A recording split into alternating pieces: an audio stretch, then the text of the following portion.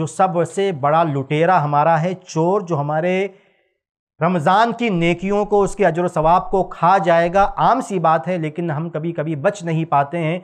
मशहूर हदीस है सही मुस्लिम की, आपने फरमाया कि मेरे उम्मत का मुफलिस कौन है? साहब कराम ने कहा, जिसके पास दिरम ना हो, दीदार ना हो, साजो सामान ना हो, लेकिन नबी ने कहा कि नहीं, मेरी उम्मत का कल्लाश, मेरी उम्मत का मुफलिस वो है जो क़्यामत के दिन आएगा, जिसके पास, नबी ने क्या कहा, रोज़ा भी होगा नमाज़ भी होगी, उसने ज़क़़त भी अदा की होगी, हज भी किया होगा, लेकिन किसी को मारा होगा, किसी को गाली दी होगी, किसी का कत्ल किया होगा, किसी का माल लिया होगा।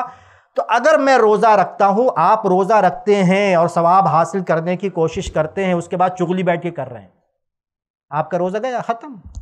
क्योंकि नबी ने उस हदीस में क्या बताया कि अगर आपने किसी की गीबत की, चुगली की किसी भी एतबार से किसी पर जुल्म किया है किसी को सताया है, कुछ भी जुल्म किया है तो हिसाब सीधा है। बहुत सिंपल हिसाब है कि आपकी नेकियाँ उसको दे दी जाएँगी।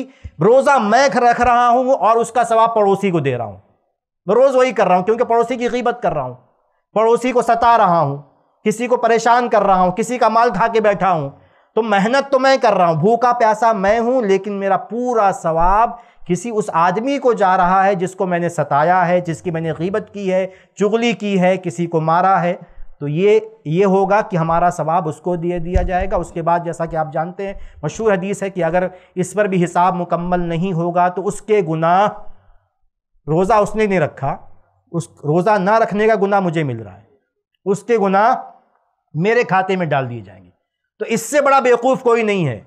कि सुबह से फजर से लेकर जो है इफ्तार के वक्त तक, मगरिब तक वो प्यासा रहे, भूखा रहे, परेशानियाँ बर्दाश्त करे, उसके बाद बैठ के आधा घंटा चुगली कर ले, पूरा ख़त्म, बैलेंस गया। आपने भराई रिचार्ज किया आपने पूरा, उसके बाद आपने चुगली, इफ्तार के बाद बैठे दोस्तों के पास और आपने चुगली कर ली कीबत कर ली, किसी को सता लिया, कुछ इस तरह पर गाली दे दी, परेशान कर लिया तो आपने सुबह से शाम तक जो बैलेंस जमा किया था, रिचार्ज किया था, वो आपने दस मिनट में ख़त्म कर दिया। तो आपसे बड़ा बेवकूफ़, मुझसे बड़ा बेवकूफ़ कोई नहीं होगा जो अपने रमज़ान के अजर सवाब को लोगों की गिबत में, चढ़ाने में, गाली देने में, किसी भी एतबार से जुल्म करके ख़त्म कर दे, हमें ऐसा नहीं करना है। ये चंद बातें थीं। अल्लाह ताला से दुआ कि अल्लाह ताला हमें कहने, सुनने से ज़्यादा समझने और अमल करने की तोफ़ी अता फ़रमाए। आमीन। वसलम वरहमल वर्का